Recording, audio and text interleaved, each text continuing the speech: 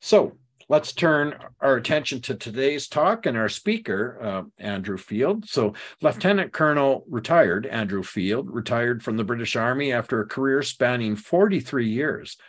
He's been fascinated by the Napoleonic Wars for even longer and has spent many happy hours researching the period, visiting many of the major battlefields. He is considered as a leading expert on the Waterloo campaign of 1815. He has a particular fascination for Napoleon's Grande Armée and boasts an extensive library of French memoirs and accounts of the Waterloo campaign.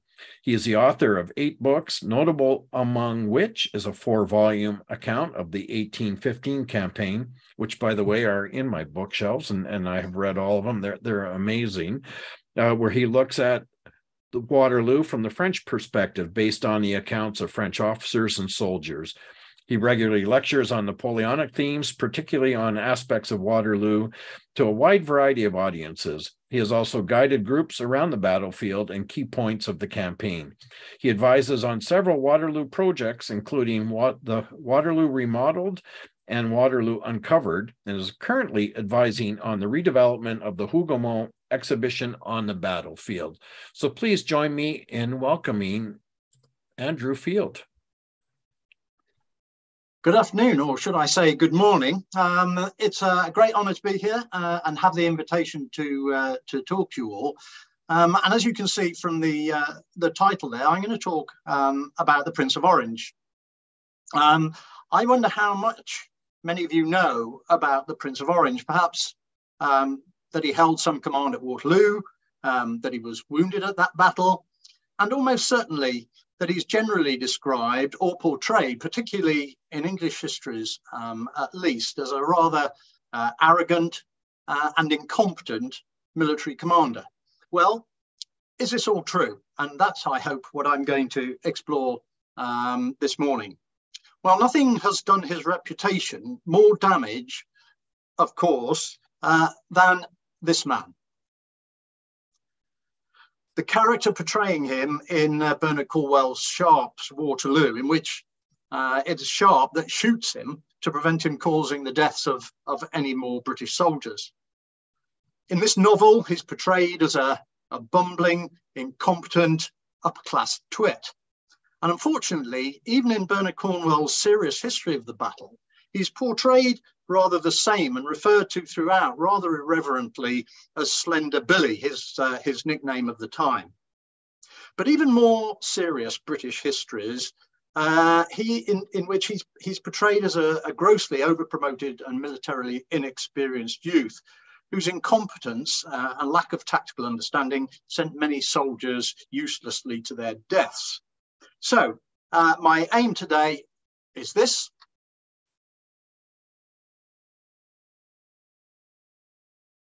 And just briefly, um, this is how I aim to uh, explore that, talk a little bit about his background, uh, talk about perhaps in a little bit more detail his early military career uh, as an aide-de-camp uh, to the Duke of Wellington in Spain. Then when he comes back from Spain at the end of 1813 to cover that period between uh, December and the start of the Waterloo campaign uh, in June 1815.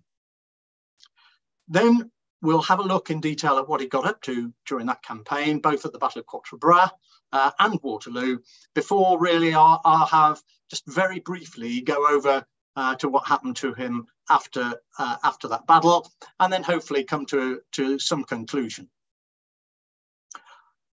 Okay, so let's have a look at his background first of all. You can see he was born uh, in December 1792. So he was not 23 at Waterloo, as many histories actually state, but actually only 22. Sorry, he was a lot of histories having 23 uh, at Waterloo, but actually he was only 22. But by then, he was already a, a full general in the British Army, although this is not particularly exceptional amongst the royalty and, and the nobility um, of that age. His father was this chap, Willem Frederick van Orange Nassau. He was the third son of the last stadtholder of Willem V, uh, who ruled the United Provinces before it was invaded by the French revolutionary armies uh, in 1795. after the French invasion, he lived in exile in Prussia. His wife was Prussian, uh, until invited to return to the Netherlands by the provisional government after its liberation by the Allies in 1813. He then became King Willem I of the Netherlands. Okay, so for the Prince of Orange, uh, under threat of the French invasion in 1794, uh, he moved to, first of all, to England and then to Prussia. And in 1805, he attended the Prussian Military Academy. Stayed there until 1809, when he was commissioned into the Prussian army when he was still only 16. Moved back to the United Kingdom, uh, attended Oxford University, where he studied law for two years, and that neatly takes us up to 1811 when he was commissioned into the British Army, as you can see, as a lieutenant colonel. Not bad to, to start your military career as such, and in part for Spain. Um, he noted in his journal at the time, I have the honour of wearing for the first time the uniform of the first army in the world. Hurrah, hurrah. Uh, in Spain, he was accompanied by his long-term mentor, Baron Constant Rebecque, now, as many of you probably know, during the Waterloo campaign, Constant Rebecque was a quartermaster general, that is a, the chief of staff of the Netherlands Army. Um, ironically enough, he started his military career in a Swiss regiment in French service, but he left in 1791 and entered the Dutch and then the Prussian army, where he became mentor uh, to the prince. In the memorandum on the Dutch army, believed to be written for Wellington, um, by Colonel Colborne, who was then military secretary to the prince, it seems that he was well regarded uh, by the British senior officers.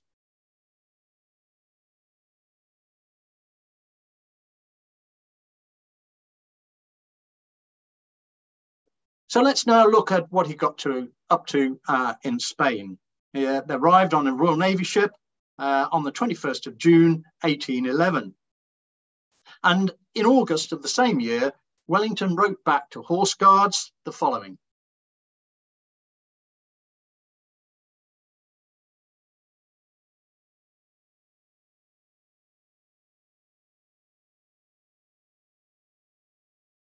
So what we have here is Wellington recommending that the prince should join a brigade and that at that level he would start to really understand leadership on operations, perhaps also in, com- in combat, and therefore he would build up his experience from the bottom as perhaps uh, he probably should have done. However, um, it didn't work out like that. Interestingly, uh, the prince turned that opportunity down um, and he rather volunteered to become an aide de camp um, to Wellington, perhaps to produce a, a, rather more comfortable life for himself, but also to be close to uh, someone who was already establishing himself as a great captain. But even as an ADC, he was to see plenty of action in the two years that he served in the peninsula. So the third same year, having been promoted full colonel, uh, he was action act, uh, present at the action of El Bodón. Um, and then in 1812, uh, he was at the siege of Ciudad Rodrigo, where he followed up the forlorn hope in the assault and was grazed by a ball uh, on a mission after the assault. At the storming of Badajoz, again, he was in the midst of the assault where he was noted encouraging the troops and also afterwards helped to carry the wounded to the rear. He was at the great victory of Salamanca and the abortive siege um, of Burgos. So he was accumulating a lot of campaign experience. He was seeing important battles and sieges from close, uh, at close at hand. In 1813, uh, present at the, the Great Battle or the Great British uh, Victory at Vitoria, uh, the siege of, of San Sebastian, uh, the crossing of the Bidasoa, uh, and at the Battle of um, Nivelle. And at the action at Sorauren, he had his horse shot from under him. So I think you can see here um, that not only did he see a lot of active service, um, but he was also quite close to the front lines at times. Uh, and I don't think anyone could accuse him of lacking of lacking courage. Now, as 1813 approached uh, 1814, with the, the, the, the, campaigns that were being fought on mainland Europe, uh, the Netherlands uh, were being threatened by the Allies or the French forces in the Netherlands.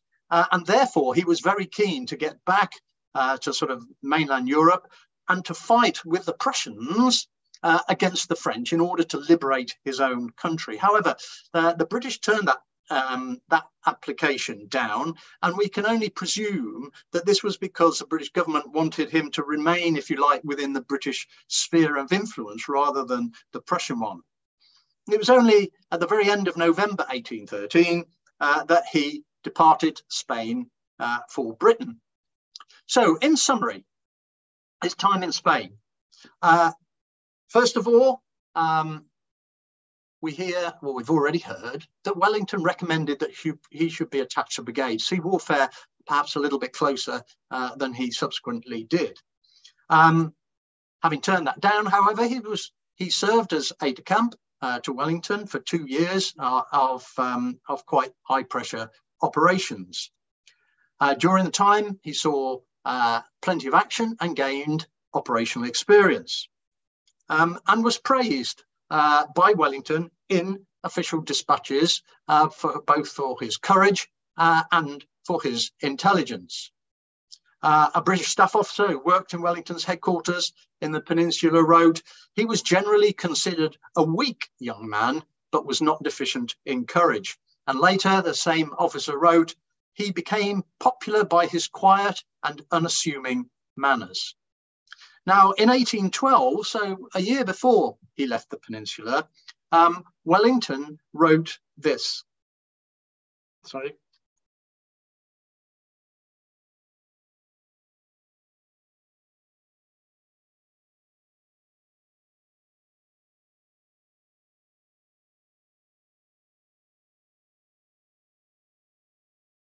Now, the medal that he was talking about um, was this one the Army Gold Medal.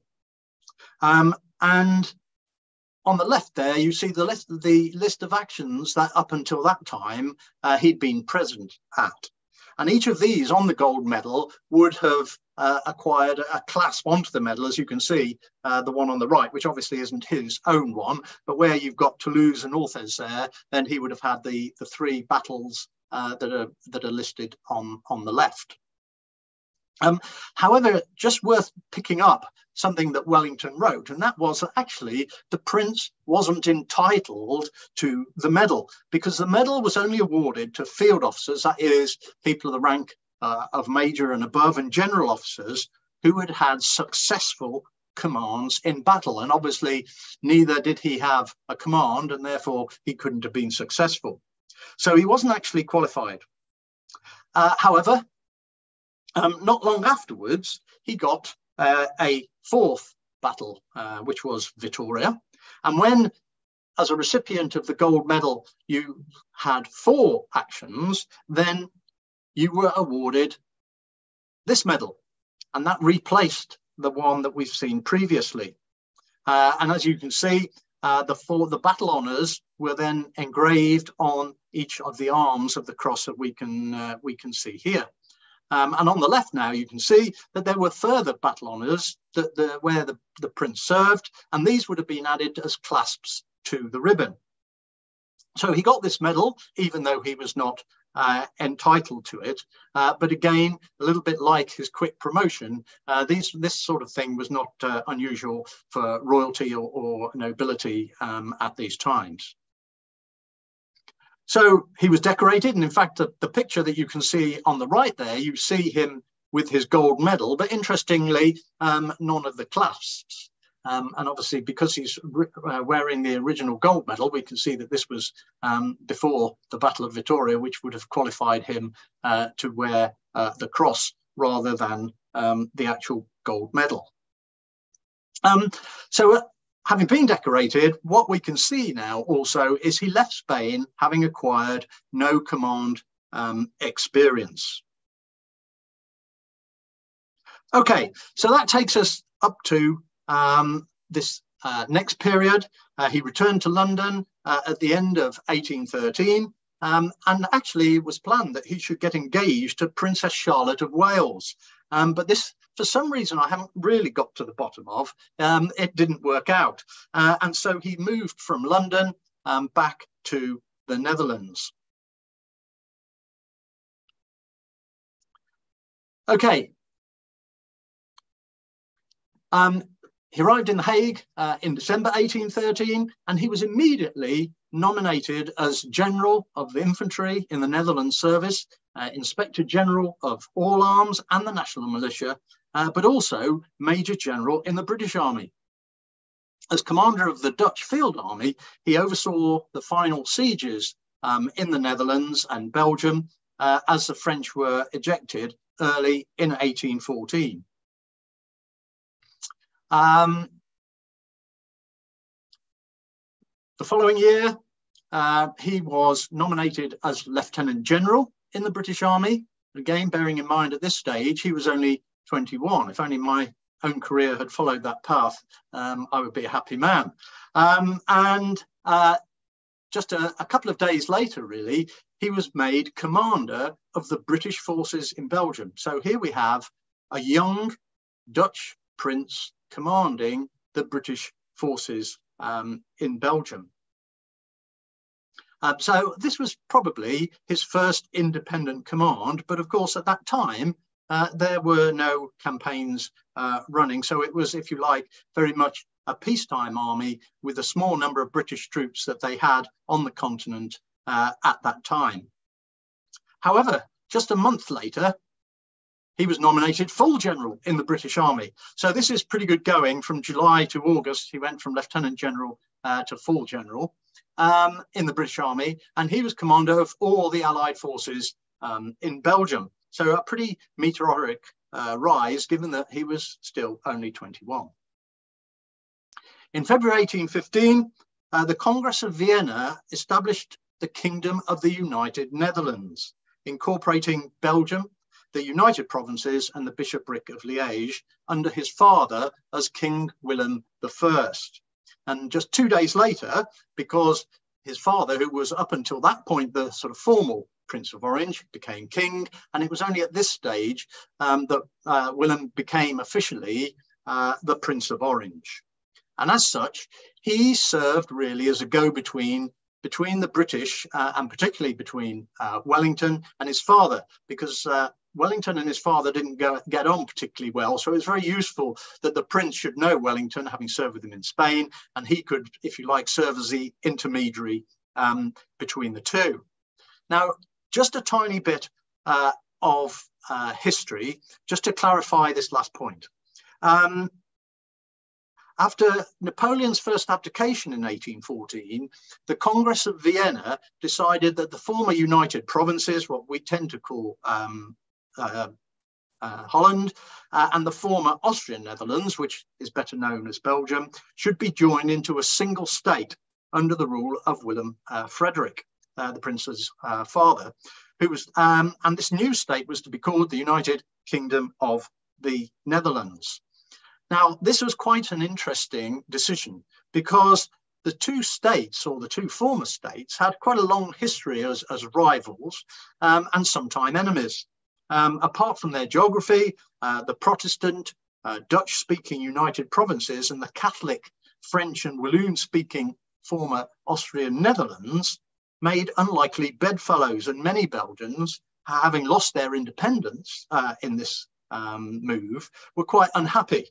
Um, and Napoleon believed, as a result, that they were likely to change sides and, and join his army um, once the campaign opened. Um, indeed, many of the Allied uh, commanders were suspicious uh, of the Belgian troops, um, wondering whether they would, uh, they were also worried that they would uh, change sides. Now, Britain was the instigator uh, of this union, and perhaps this shouldn't be a surprise, um, because at the end of the day, what they were trying to ensure was that they had a friendly nation across the channel, and they were concerned that an independent Belgium may ally itself with France. Um, and so they identified that having a single friendly nation across the channel, uh, ruled eventually by the Prince of Orange, uh, so an old acquaintance of the Duke of Wellington, that this would help their own security. Okay, so that, that little bit of history, um, let's move on. Um, so now we come uh, sort of back, if you like, to the 23rd of March 1815, where he was nominated Commander-in-Chief chief of the United Netherlands, of the troops in the United um, Netherlands. Um, now, uh, in this appointment, um, he was not regarded uh, very highly by many of the people who had known him as a colonel in the peninsula. Um, in April, uh, he was visited by General Rowland Hill, who knew who had known him uh, from the peninsula. And Hill's ADC wrote this about the meeting.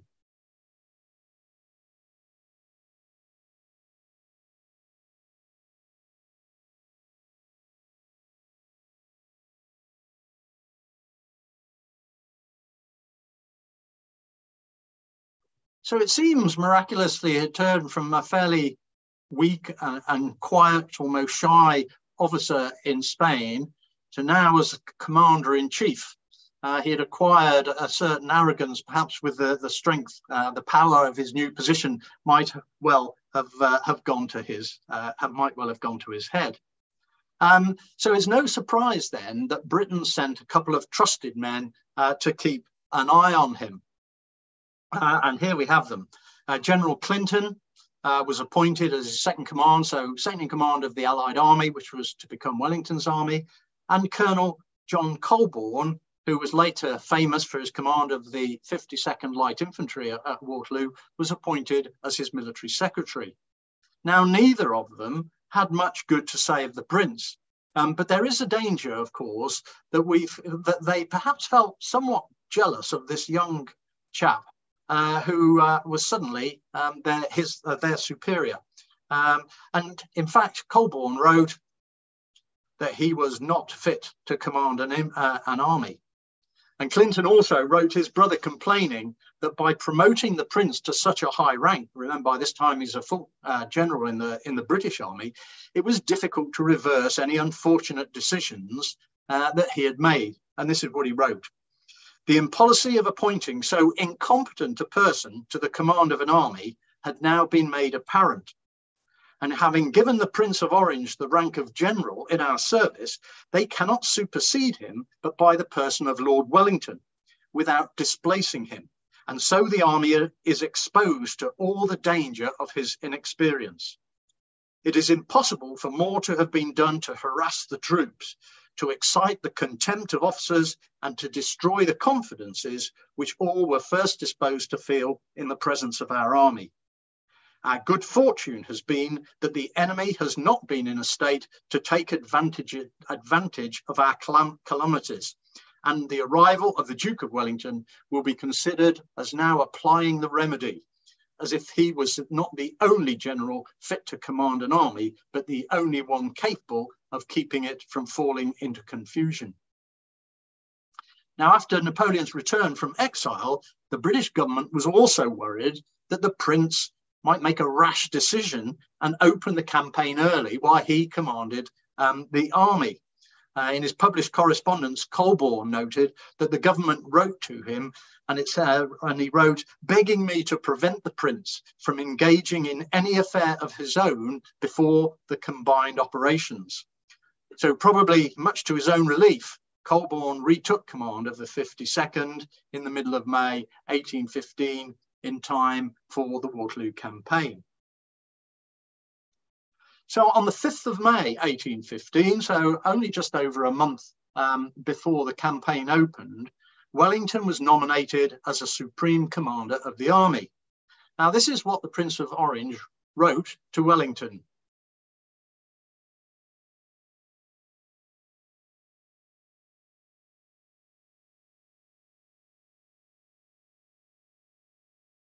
Now, that's rather interesting, um, and you can't help when you look at the bit I've highlighted in red, um, wondering whether he rather arrogantly believed that he was better qualified to command uh, the army than the many British generals who had fought it, fought uh, and commanded at least divisions on the campaign uh, throughout the Peninsular War.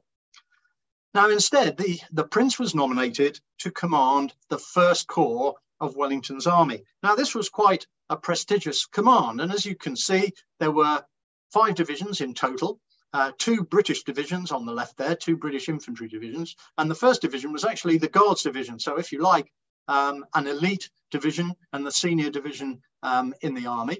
There are also two uh, infantry uh, divisions from the Netherlands Army, the second and third divisions, and also the Netherlands Cavalry Division. So that was still quite a responsible command for someone uh, who was now uh, 22. Um, however, uh, it's true to say that Wellington generally didn't organize his armies into corps. They tended to organize them in, into divisions. And during this campaign, it seems as if the corps uh, was more of a sort of administrative uh, significance rather than a tactical significance. And Wellington's headquarters continued to give orders directly to the British divisions, uh, thus bypassing the Prince's headquarters um, and there was always a danger that the Prince was issuing orders as well as Wellington to the same divisions, perhaps to do different things. So uh, there was certainly plenty of potential uh, for confusion um, there. Okay, so this map shows the concentration areas of the Prussian and Allied armies uh, at the opening of the campaign. Now, the dotted line towards the bottom, uh, and that is the border, the frontier uh, between um, France and the United uh, Netherlands. Um, here we see the concentration area of the Prince's first corps. And this was, this turned out to be uh, the main uh, French advance uh, towards Brussels when the campaign actually opened.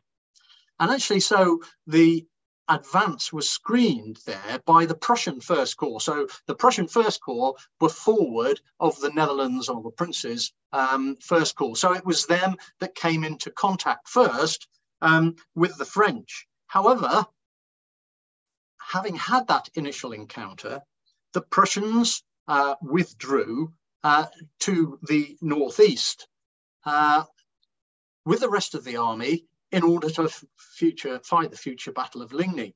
But of course, what this did is it rather opened um, the French road, main axis, up towards Brussels. And the only troops um, that were on that main road uh, was a single brigade of Netherlands troops that were part of the 2nd Netherlands Division, part of the Prince's uh, First Corps. Now, when the Prince received uh, the information from the Prussians that the French were attacking up this road, uh, the first thing he did was jump on his horse and rush up to Brussels to inform the, uh, the Duke of Wellington.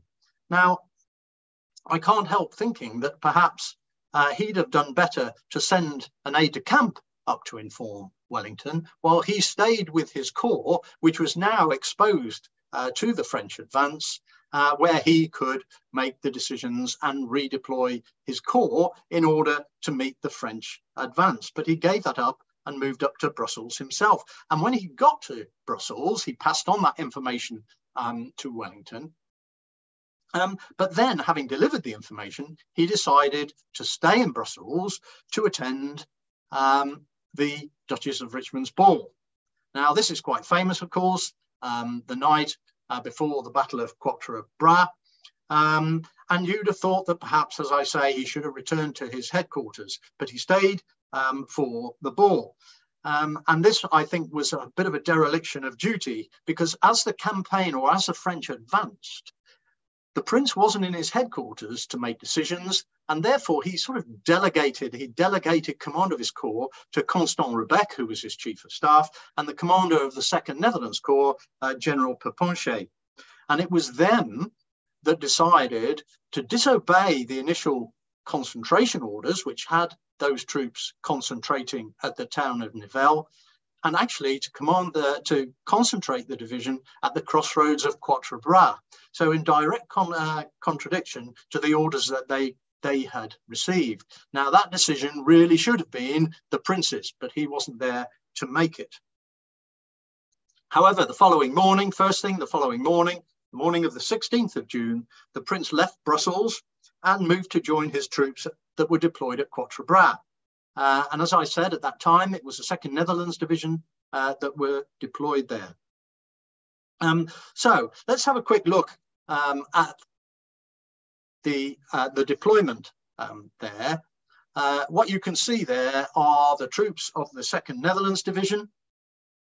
Um, and although this slide shows the, uh, the French advance, what I'm really using it to do is to show you the deployment that the, the Prince uh, chose, uh, the way that he deployed his troops.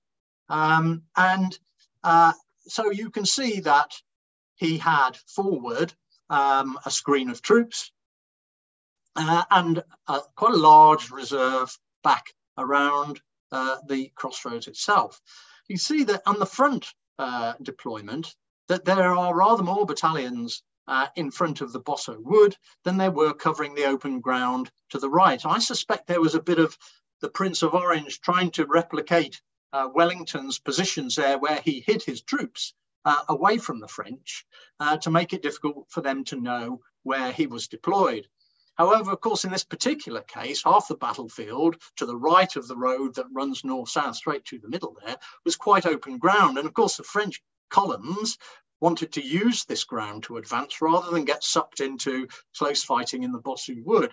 So although, if you like, the prince had the right idea, his deployment had some fundamental flaws.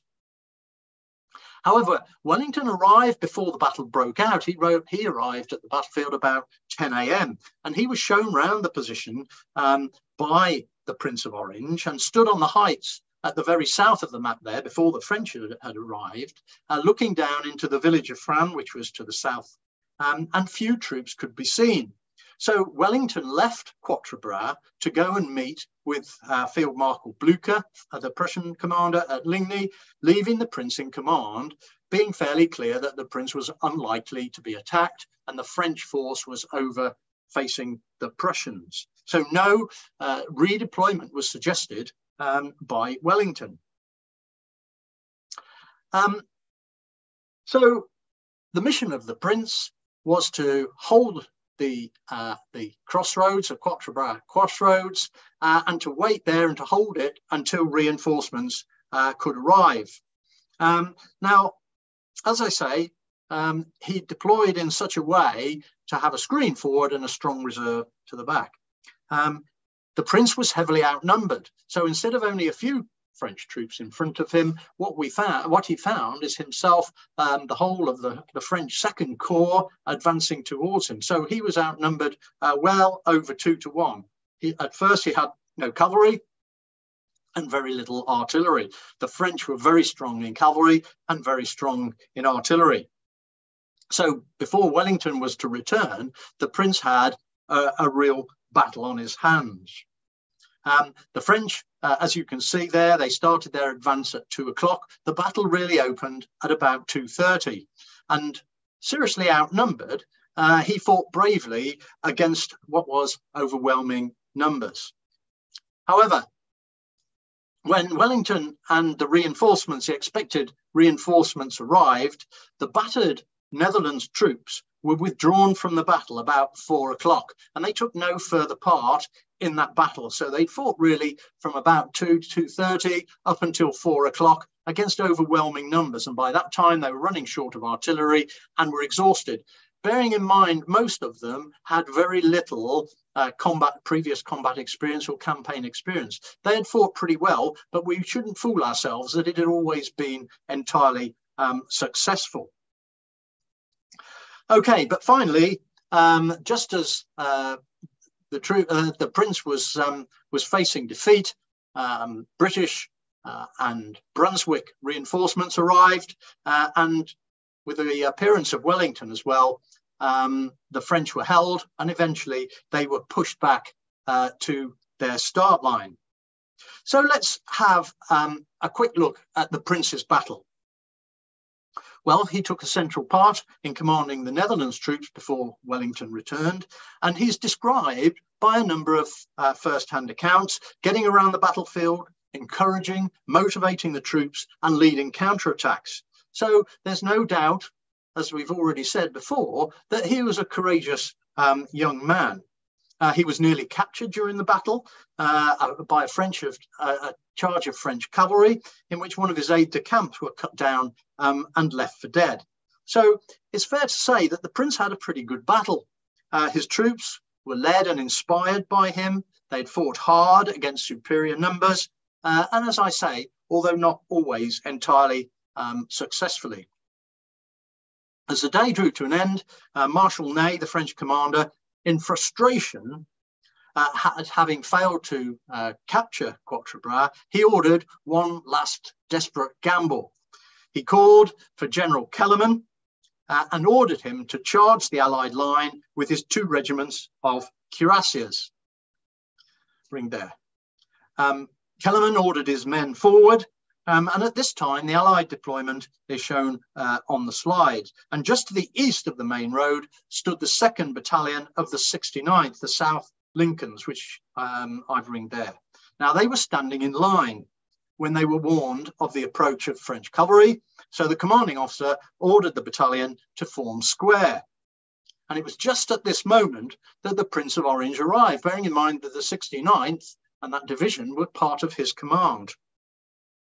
However, the prince was unaware of the advance of these cuirassiers and he ordered them to move back into line. Well, of course, the lieutenant colonel commanding the 69th um, had no option um, but to obey.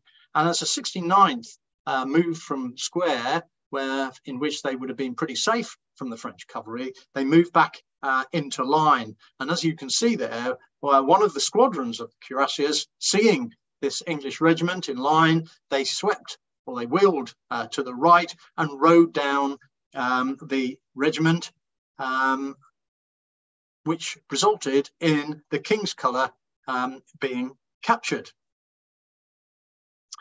Now, the extent to which the prince was responsible for this has been hotly debated because some of his supporters said that um, he wasn't aware of the French cavalry, no one pointed out to him, and so the order he gave uh, was quite a sensible one. Others say it was absolutely his fault. The CO had remonstrated with him and said uh, that there were cavalry coming, and he'd ignored the advice and ordered them into, into line. But there's no doubt that he made a serious uh, error of judgment, and that led to many deaths uh, within the 69th, as well as um, the loss of the colour.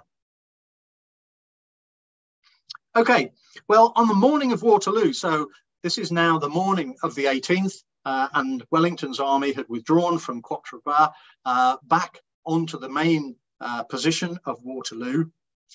Wellington, quite strangely, decided to reorganize his command structure. And the Prince of Orange lost command uh, of the First Corps and was retitled Commander of the Centre, as you see here. Well, we're not quite sure of the reason for this. This map shows um, Wellington's deployment at Waterloo. And what I've ringed there are the five divisions that we talked about that were part of the First Corps. And as you can see, they were spread across the whole front uh, of the battlefield. The 3rd Netherlands Division, represented up in the top left-hand corner, were actually off um, the map uh, that I've shown you there.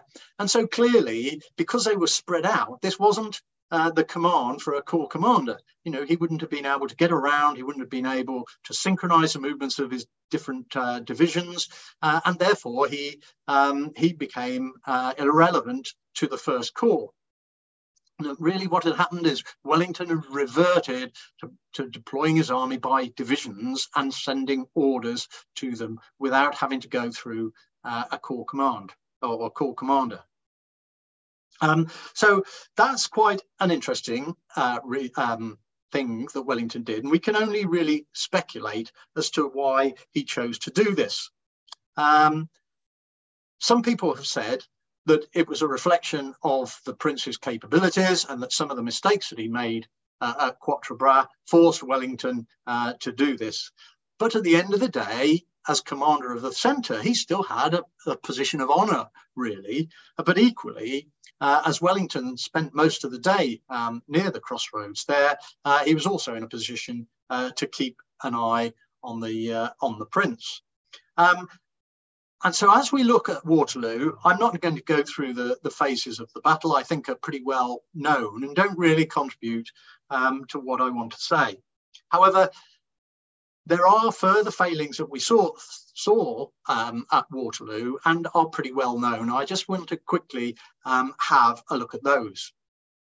Now, the best known probably of the, the Prince's battlefield faux, faux pas concerned this place, La Haye Sainte, um, and it involved this man, Colonel Ompteda.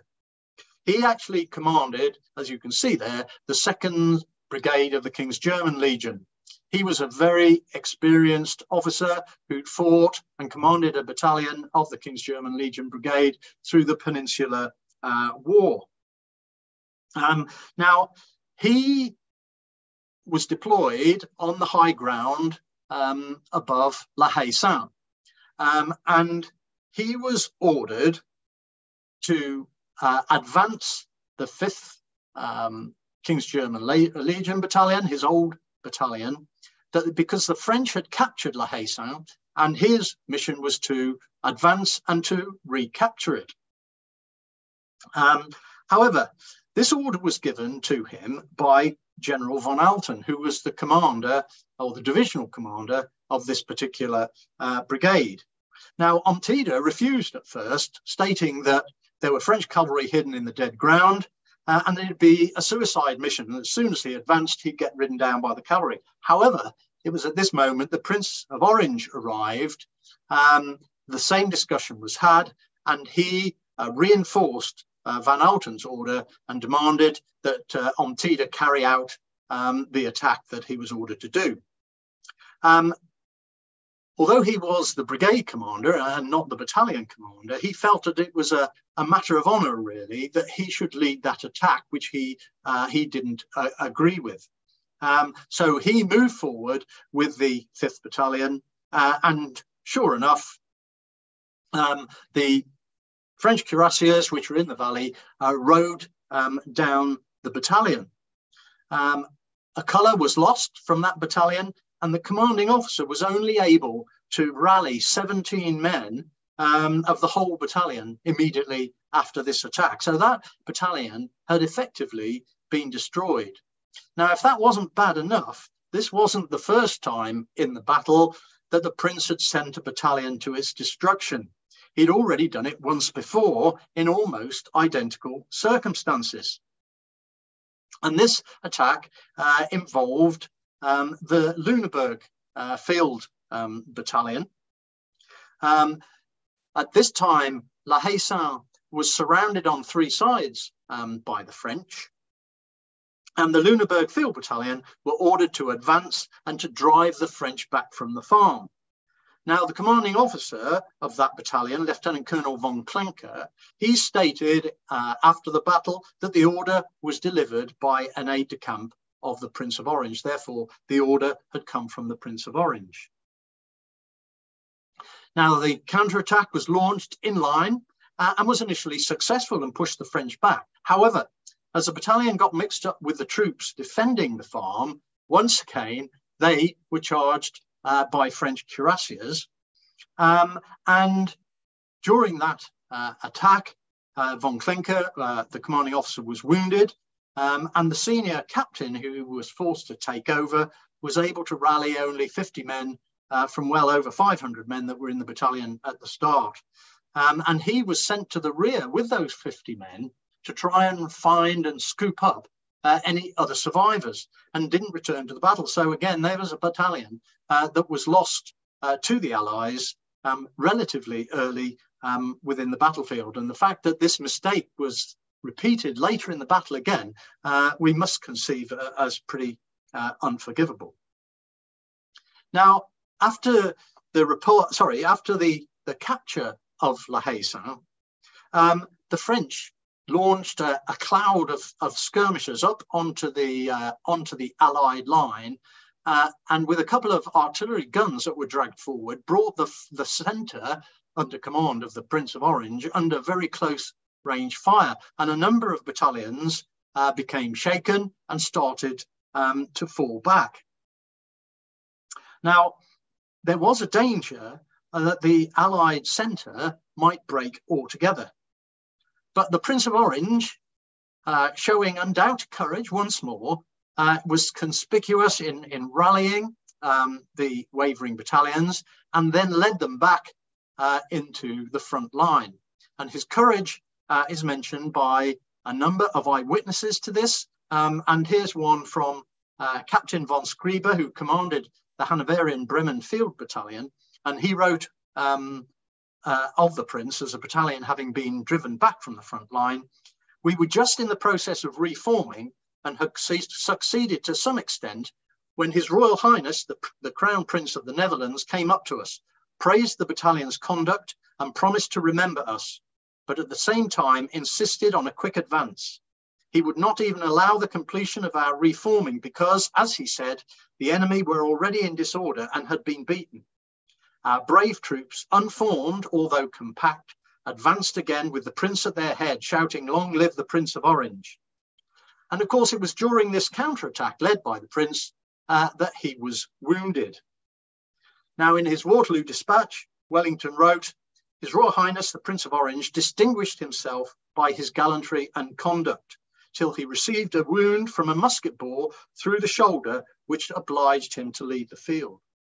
So it was at this point, uh, before the final attack of the Imperial Guard, that the battle was over for the prince, and he was sent uh, to the rear for uh, to receive some um, um, some care.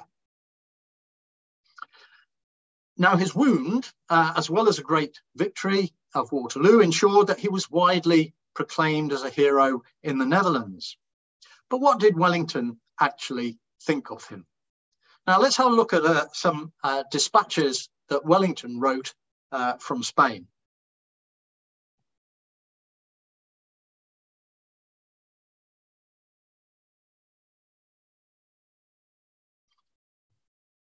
Good education, very engaging, likable, but young, okay, we get that. Very shy and diffident, not the uh, perhaps rather arrogant man that we met um, in 1815.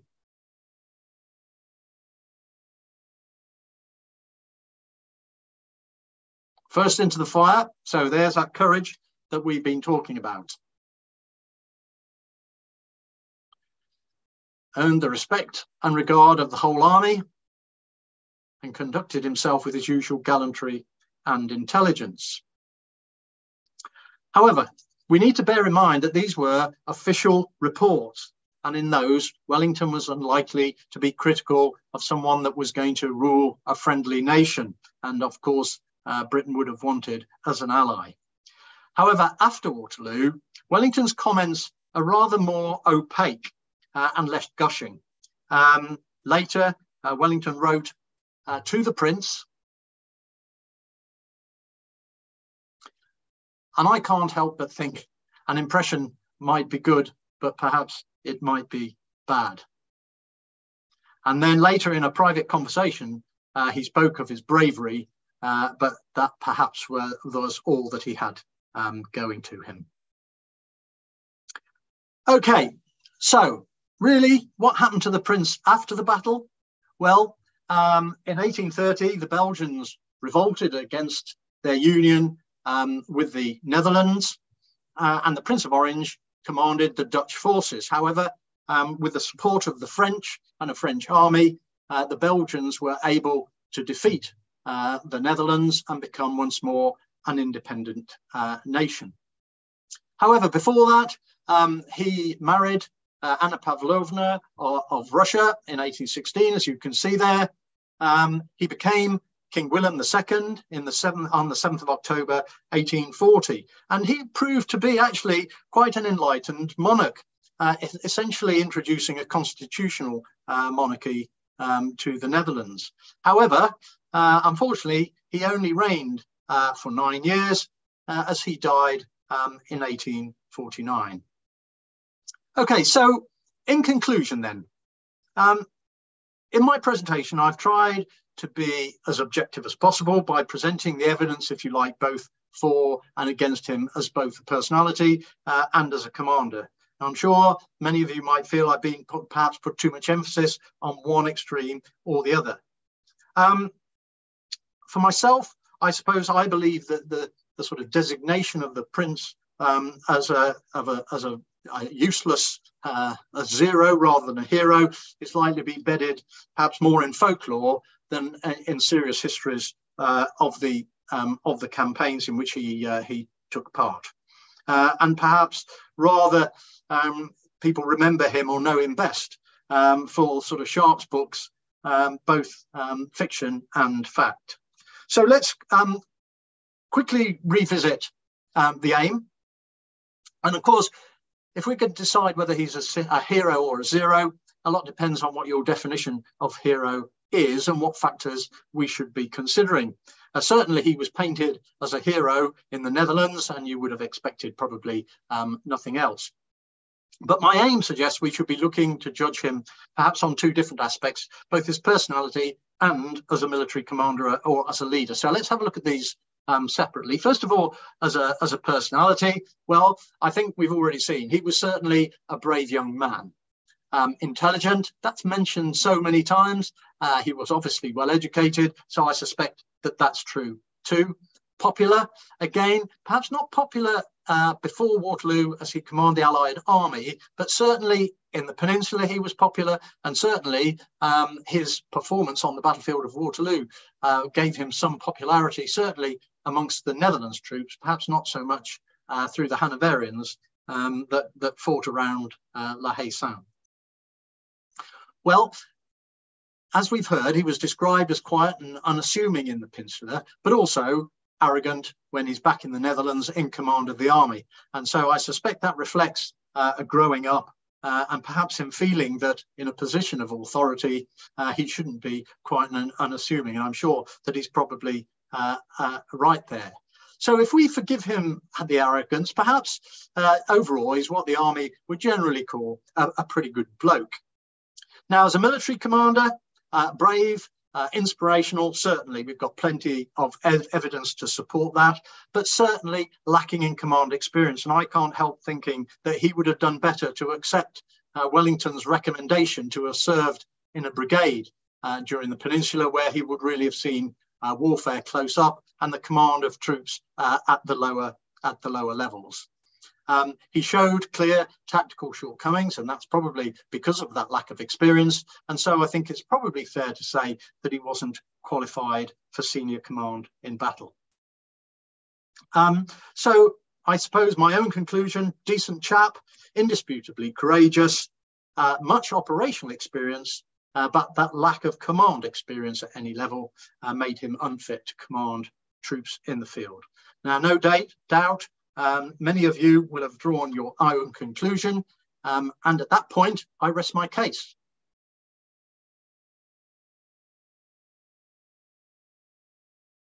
Thank you, Andrew. Uh, outstanding. Uh, I think Chris is busy gathering questions. Uh, there, there, were numbers starting to come in. Uh, perhaps you can stop sharing your screen, and then that gives uh, everyone a chance to have a better look at, at you in your office there. So. Oh my, my goodness! Let me. Uh, you want me to? Um, uh, Let me see here. I can. Okay. Uh, probably somewhere up to the top, you'll see stop sharing. There, there we go. go. There you go. You, yeah, but this is my little hideaway, my little study um, with, I suppose, lots of prints and militaria, and you can't see my collection of books there, or only the top of them. Um, but yeah, this I've got uh, quite a collection now. I've got a little annex upstairs as well, where I have to hide all the extra ones from uh, from my wife, so she doesn't know how many I, I've been buying. All right, so uh, Ross Flowers made a comment. He he loved the photo you used, uh, prompting questions. That that was our brigade at Waterloo 2015, and you can see his drum corps featured prominently in the front. So, yeah, I did. Funnily enough, I, I did wonder when you were mentioning that um, at the beginning uh, as to whether it was the same one that I was show, that I was going to show on that last photo. So I, I'm rather pleased to know that it was. Yeah, yeah, you captured a, a, good portion of the Canadian Brigade. We are in in and around the area of Hougoumont during the, the 2015. So, all right, Chris, take it away. Thank you. I'm going to uh, jump in here. Uh, got sort of a wide variety of, of questions, some of them related more to the prince and his personality, and some more um, towards his sort of tactical experience, um, as you sort of separated near the end there. So I'm just going to start uh, sort of more on the on the tactical side. Um, do we have a lot of um, a lot of knowledge of the views of some of the senior Dutch figures about his ability on the battlefield. So uh, somebody mentioned uh, Rupert, uh, uh, um, like these sort of uh, senior Dutch commanders. Did did they write on what how they felt about him? Um, no, they didn't. What I tried to do was to find all the references to the to here the to the prince that I could within uh, the British accounts with the British Army that served he served with in the peninsula, and then of course when he took command in the Netherlands, and and then during the um, and during the campaign itself. Um, and obviously those I've shared many of them with you, and those that I haven't shared pretty much said the same thing. Um, I, I know I sort of avoided the question there, but I think the truth is, of course, that the senior um, Dutch commanders were were not going to say anything bad about their own prince and future king, um, and so although the all the official reports uh, and the the, the writings that I've seen uh, about the campaign from Constant Rebecque, who kept a journal, uh, from Perponcher, who obviously wrote his own report uh, of his division uh, at Waterloo. Um, and there's no mention of him. But of course, by commanding the center of the army, that was, if you like, that was probably the Allied right centre. In other words, the prince didn't command any troops to the other side, to the eastern side of the main road. His command, if you like, was to the west of, the, of that. And therefore, there were no, um, the only Dutch Belgian troops that were in that area were the cavalry who started at the back. And therefore, they were under the command of the uh, uh, Earl Uxbridge, who commanded all the Allied cavalry. So actually, the um, the prince was not really seen by any of the the Dutch senior commanders, um, and therefore they didn't really see what he did during the battle. Um, and I think it's fair to say they were unlikely to criticise him anyway. So unfortunately, I, I, haven't seen anything that mentions him, um, other than perhaps from other nations um, such as the, the Nassau troops um, and some of the Hanoverian troops that he led in that counterattack, who spoke very, very highly of him um, and mainly, mainly of, of his courage. Right. Yeah, that that that makes sense. Naturally, you're not going to criticize your future king. Um, there's, um, I don't, I don't know uh, very much about uh, the current uh, British military doctrine. I'm sure you could uh, talk to us about that now, but I know that time the British military sort of ebbs and flows on its on this notion. But um, do you feel that um, the Prince of Orange would have been most effective if it just remained as a staff officer? It seemed like in the Peninsula he was he was very effective of that. Was was that where his strength lay? Um, was sort of in, in more that role? Hmm. I mean, that's an interesting question because, of course, um, at the end of the day, that army was defending the new kingdom of the United Netherlands. And therefore, I think it was again important from a political aspect, if no, no other, that the prince should be seen to take a, a, leading part in that. And I think Wellington was as much a, a political general as he was a sort of military general, if you see what I mean. So I'm sure he was pretty acutely aware that the prince needed to, to feature quite heavily in the battle. Um, and so I think that's um, probably the most important aspect or the most part of your question. I mean, interestingly, at Waterloo, the Dutch Belgians uh, fought in two deep line if we're talking about tactical doctrine. Of course, that was how the British had fought in uh, the peninsula, and that was the basis of their renowned firepower. Most other continental armies, in fact, all other continental armies, fought in three deep line. And the reason for that was to add an extra little bit of security, a little bit of stiffening, so that the line wasn't too thin, so that if it broke, it broke up. Um, and so I think that the reason that the, the Netherlands troops fought in line was because their commander in chief, the uh, the Prince of Orange, decided that this was a good thing. He'd seen it work in the peninsula, and therefore he wanted his own troops to use it against the French to try and maximize the firepower. What's interesting is that the troops of Bylandt's brigade, which were broken uh, during the battle by D'Erlon's attack um, to the east of the main road, they opened fire in two ranks and they blame that on the reason why they were broken. And they say that by having only a two deep line, that their firepower was undermined rather than strengthened and that is why the French were able to overpower them. So there's an interesting contrast there um, in views. Um, so it's quite clear, though, that the Prince had influenced the, the tactical doctrine of the Netherlands army. Fascinating. Um, quickly, if uh, a few um, sort of short questions, if I if I can. Um, when the uh, when the Prince of uh, sorry, before he was the Prince of Orange, uh, when he was first initially appointed as a lieutenant colonel in the British Army, was he attached to a regiment? No, I mean he he. I am presuming from what Wellington wrote about him perhaps serving in a brigade rather than as a as a as an aide de camp, um, that it hadn't been decided what he should do when he was sent out to Spain. Um, but of course, he, I suspect he will have gone out as a staff officer and therefore didn't have a regimental affiliation. Um, and that's probably the reason why he was promoted quite quickly from lieutenant colonel to colonel, because of course, once you get to colonel, really, you generally no longer commanded a battalion. That was normally a lieutenant colonel's job.